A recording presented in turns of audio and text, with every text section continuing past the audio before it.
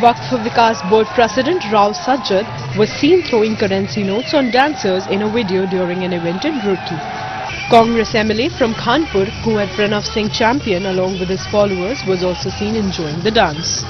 Correspondent Jahangir from Uttarakhand for ANI.